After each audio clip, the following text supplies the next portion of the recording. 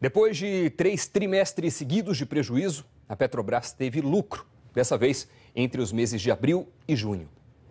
O lucro de 370 milhões de reais no segundo trimestre desse ano, na verdade, representa uma queda de 30% se comparado com o mesmo período do ano passado. E se a gente fizer uma análise dos seis primeiros meses desse ano, a Petrobras atinge um prejuízo de quase 900 milhões de reais. A diretoria analisou essa pequena melhora no segundo trimestre e disse o seguinte, que os fatores determinantes foram há um aumento da produção, uma diminuição do produto que é trazido ao Brasil, né, até porque o consumo aqui também caiu bastante, e o aumento do que é exportado, que é mandado para fora do país. A pequena valorização do real nos últimos meses e também o aumento do preço do barril de petróleo contribuíram para a diminuição do endividamento da Petrobras. E esse é o grande objetivo por aqui, é apostar no desinvestimento, ou seja, a regra por aqui é investir menos, gastar menos para manter a dívida sob controle. Dívida essa que hoje já chega a cerca de 400 bilhões de reais.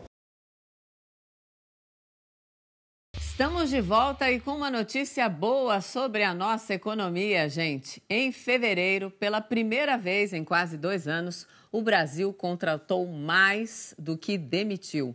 As admissões superaram as demissões em pouco mais de 35 mil vagas. Os dados são do Cadastro Geral de Empregados e Desempregados, o CAGED. E mesmo com os números positivos, os especialistas dizem que ainda é cedo para afirmar que isso é de fato uma tendência. O setor de serviços foi o que mais empregou em fevereiro. Há seis meses não eram criados postos de trabalho formais nessa área da economia. As contratações nas instituições de ensino foram as que mais contribuíram para que esse número fosse positivo. No começo do ano letivo, fevereiro, me parece que é razoável esse aumento uh, uh, uh, dos postos enfim, de, de trabalho nessa área mas pode ser sazonal ainda. É muito cedo para a gente comemorar. Os outros setores que mais contrataram foram a administração pública, a agricultura e a indústria.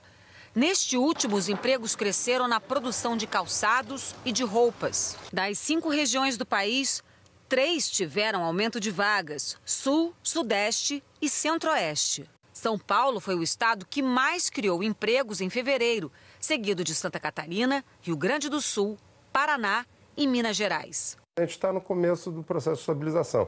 O desemprego vai ah, ah, provavelmente aumentar ainda um pouco, mas em níveis menores do que estava aumentando. Enfim, já desacelerou e vai desacelerar mais. Melhora de fato a gente vai ver no final do ano.